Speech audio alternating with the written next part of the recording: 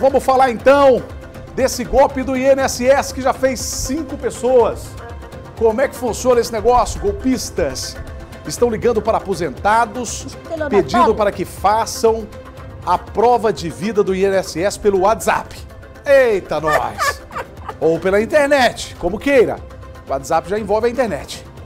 O objetivo é roubar os dados pessoais. Kelly Martins tem os detalhes, vamos ver.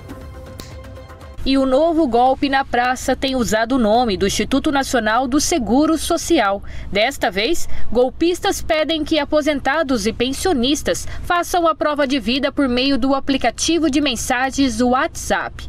O INSS emitiu um alerta da nova modalidade de golpe.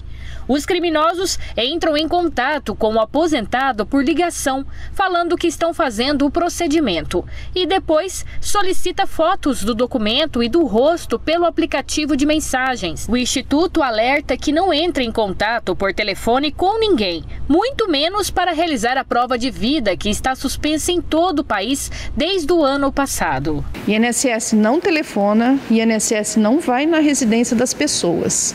E nós tivemos aí com a, eu não sei se foi aprovado ainda, mas parece que mais 5% de margem consignável, e as financeiras já estão ligando e aplicando golpes nos aposentados e nas pensionistas.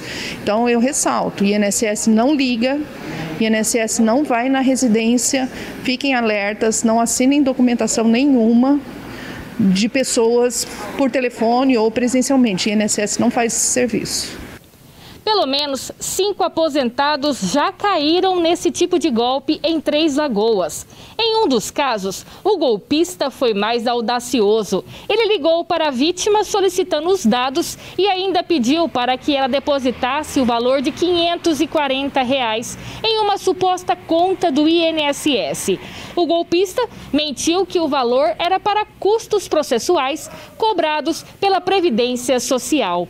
A aposentada de 73 anos depositou o dinheiro e ficou no prejuízo. A Previdência ampliou a prova de vida digital.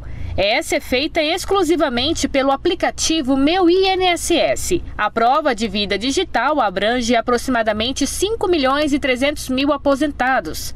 Já a prova de vida feita pessoalmente nos bancos ou na agência do INSS continua suspensa por conta da pandemia e só deve retornar no mês de junho.